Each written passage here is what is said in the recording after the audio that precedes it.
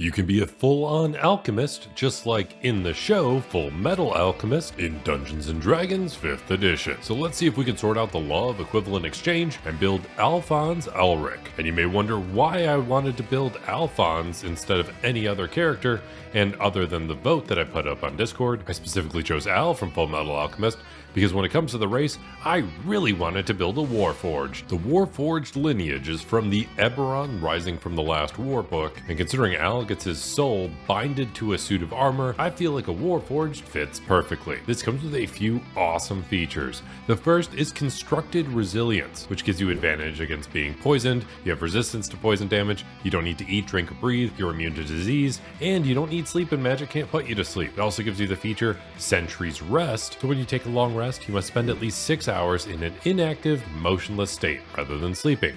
In this state, you appear inert, but it doesn't actually render you unconscious. And finally, the biggest boost you're going to get is integrated protection. Your body has built-in defensive layers, almost like you're just made of a suit of armor. But those layers can actually be enhanced with more armor if your class allows it. This feature gives you a plus one bonus to your armor class, and wearing armor actually integrates it kind of into your body. So you have to actually spend a full hour getting in and out of armor. And as long as you're alive, your armor can't be removed from your body because the armor is your body. Then when it comes to a background, in the Full Metal Alchemist series, you're basically making these transmutation circles to do your alchemy. And those transmutation circles kind of feel like runes. So I'm going to take the background, Rune Carver. That comes from the Bigby Presents Glory of the Giants book, and it gives you skill proficiency in history and perception. And it's all about carving runes, so by default, it gives you a feat and that feat is Rune Shaper. And Rune Shaper gives you the feature Rune Magic, which allows you to know a number of runes equal to half your proficiency bonus, rounded down. You can inscribe each rune you know onto a non-magical weapon, piece of armor, clothing, or any other object that you touch, and those runes are first level spells. You will know that spell, and if you're carrying the object with the rune on it, you can cast that spell using any spell slot you have, or you can invoke the rune that you have inscribed without expending a spell slot, but you can only use it once per long rest, basically giving you a resource of free spells. So now you can have a good solid source of spells that you might not take usually, but that can definitely be super helpful like Long Strider boosts your movement speed, Disguise Self in case you don't want to look like a giant suit of armor, or something like Speak with Animals if you want to completely destroy my soul. Big brother Ed. Then when it comes to stats, we're going to keep it pretty straightforward. We're going to dump strength because dexterity is just going to be more useful to us. Then we're going to put 15 points into dexterity, constitution, and intelligence. That means we're going to dump our wisdom, which kind of makes sense because then maybe you wouldn't have been a kid trying to bring your mom back to life, and charisma is a little hard when you're just a walking suit of armor. Dumping both of those stats down to 8. With 15 points into our main stats, we also get a plus 2 bonus to our constitution from being a warforged, bringing that to 17, and then we get a plus 1 into whatever stat we want, so we're going to throw that into intelligence, bringing that to 16, because you have to remember tons of alchemy combinations, and with the law of equivalent exchange, you need to know specific elements and how much of each and all that stuff. Then it's time to choose a starting class, and you might assume, well, it's Full Metal Alchemist, we're going with an alchemist, but uh, yeah, alchemy in D&D is very different than in Full Metal Alchemist. We're not creating a bunch of items like we would in D&D. We are transmuting one thing into another.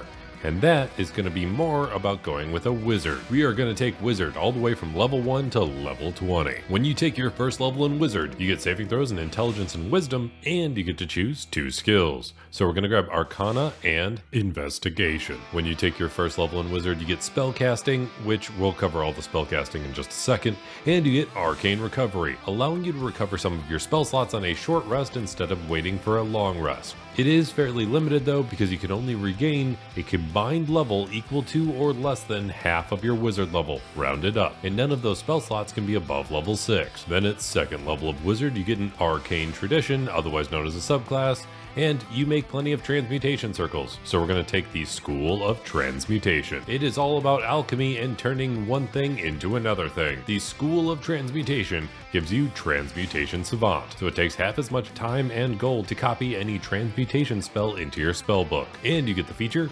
minor alchemy. So you can temporarily alter the physical properties of a non-magical object changing it from one substance to another. So you can take an object that's entirely of one type of material, like wood, stone, iron, copper, silver, whatever, and transmute it into a different one of those materials. I know it's a very simple bit of alchemy and transmutation, but you're only level 2, you can't expect too much yet. I mean, you're so limited that for each 10 minutes you spend performing this procedure, you can transform just one cubic foot of material. And even after all that, one hour after you do it, you lose your concentration on it and the material reverts to its original substance. Basically, the only use for this is if you want to try and con people, and that'd be kind of mean for Al to do. Then leveling up in Wizard is actually pretty straightforward. You get a ton of spells, which we're going to cover, and then you pretty much just get features from your subclass and some ability score improvements, at least until you get to a super high level in Wizard. But when it comes to that transmutation subclass, at 6th level you'll get a transmuter stone, giving anybody that holds that transmuter stone some special benefits like dark vision out to a range of 60 feet, an increase to their movement speed by 10 feet, proficiency in constitution saving throws, which is pretty massive for any spellcaster because that helps your concentration checks. And finally, the holder of that stone can have resistance to acid, cold, fire, lightning, or thunder damage, but you only get one of these benefits at a time. However, you can change that benefit each time you cast a transmutation spell. Then at 10th level of Transmutation Wizard, you get Shape Changer, so you get the Polymorph spell added to your spellbook for free. And you can cast Polymorph without expending a spell slot. But when you do so, you can only target yourself and transform into a beast whose challenge rating is 1 or lower, which is kind of limiting, but can be pretty useful, especially if you need to navigate into small spaces or something. Then at 14th level of Transmutation Wizard, you get Master Transmuter. This feature allows you to destroy your Transmuter Stone in order to gain a single burst of power. And you can use it for four different things. The first one is Major Transformation, allowing you to transmute an object that is something that's no larger than a 5 foot cube. And you can transform that object into another non-magical object of similar size and mass and of equal or lesser value. But you have to spend 10 minutes handling the transformation. This might sound somewhat useless, but if you happen to need like a rope ladder in a situation,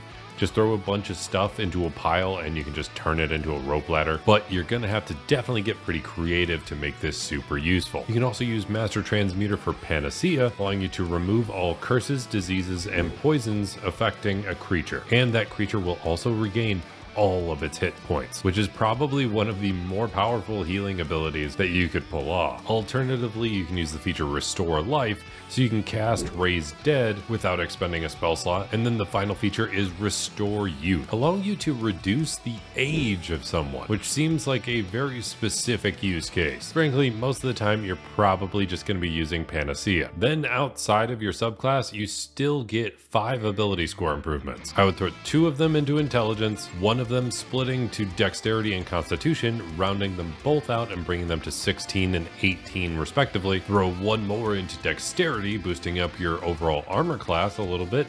And then finally, make sure you grab a feat. And we don't always want to rely on that transmutation circle for all of our casting, so we're going to take the feat Warcaster. And Warcaster is one of the most helpful feats for Spellcaster. Your Transmuter Stone can already give you proficiency in Constitution saving throws, but Warcaster can give you advantage on that Constitution saving throw whenever you're trying to concentrate on a spell. Additionally, Warcaster makes it so you don't need to use somatic components of a spell if your hands are occupied. And then finally, when a hostile creature's movement provokes an opportunity attack from you, you can use your reaction to cast a spell at that creature rather than making an opportunity attack. It can be any spell that has a casting time of one action, and you can only target that one creature, so you can't use this to cast an AoE spell. Then there's two final features you get from being a wizard. At 18th level of wizard, you get Spell Mastery, so you can choose a first and second level wizard spell that are in your spell book, and you can cast those spells at their lowest level without expending a spell slot. So you can definitely just spam cast certain spells. And then at 20th level of wizard, you get signature spells. So you gain mastery over two powerful spells. You get to choose two third level wizard spells in your spellbook, and you always have them prepared. And they don't count against the number of spells you do have prepared. And you can cast each of them once without expending a spell slot, but you can only do that once per short or long rest. Wizards are probably the easiest to cover as far as their abilities, but they do have a heck of a lot of spells. So let's dive into the most important ones, but I'll have the full spell list up on my Patreon along with the character sheet for this build as well as all of my other builds. Then when it comes to the spells, there's actually a lot in the show when it comes to like touching one surface and then further down the surface something more usable happens. Whether a giant hand comes out to punch your enemies or a spike or whatever. So a lot of spells we want to make sure we grab are going to be earth related spells. So we'll grab cantrip, mold earth, and shape water. When it comes to first level and beyond of spells, we're going to grab catapult to launch things however we want, and then some default stuff like mage armor and shield. And you can just think of shield as the ground springing up to help block the path of anything coming at you. But we're also going to want to make sure we grab Maximilian's Earthen Grasp as if the ground itself is coming up to grab your enemies. Similarly, we'll grab Erupting Earth and control water for similar effects, which are all transmutation spells, and just to completely decimate your world's economy, grab the spell Fabricate. It's kind of like the transmutation abilities you already have, but you can get way more intense with it. And if you happen to be proficient in blacksmithing or something like that, you can take a clump of raw materials and turn it into a full-blown suit of plate armor, which are very expensive in 5th edition, so really, you're just absolutely breaking the economy. Then to spring a whole bunch of objects into action to help fight for you, you're going to want to grab animate objects. And just like another hand coming out of the earth or whatever to just punch your enemies, you're going to want to grab arcane hand, which is just Bigby's hand, but a more simplistic name. Also grab transmute rock and move earth. And then unfortunately, you're definitely going to have to grab create homunculus because whether like it or not, you did that. Then the ninth level spell you got to grab is wish, mostly because it's going to be the best way you can recreate possessing the philosopher's stone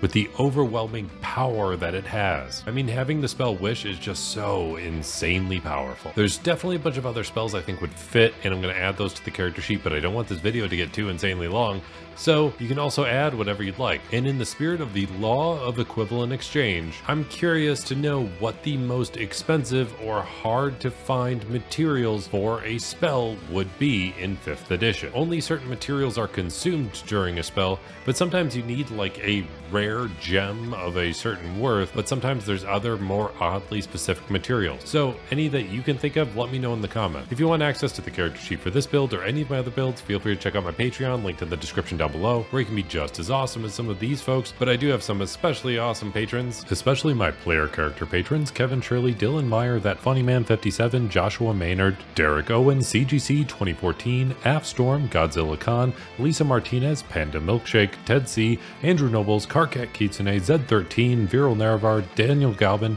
and the Dido 21. Then going above and beyond that are the Dungeon Master level patrons that I actually play D&D with, Shane Gilroy, Conman ZX, Cyberciety, Talon Starkey, Demiurge, Braden Aldrich, Eric Wade, Salvador, Devin Happy, and Kilo Kilo. Then going above and beyond anything I ever expected is my god tier level patron GameStake. He helps me to an insane degree, so I want to give a very special shout out to him. And if you made it all the way to the end of this video, let me know by hitting that like button, and I'll be here hoping you roll at least 3 nat 20s in your next D&D session, especially if you want to be an alchemist with your soul trapped in a suit of armor and play as Alphonse Elric from Full Metal Alchemist in Dungeons & Dragons 5th Edition.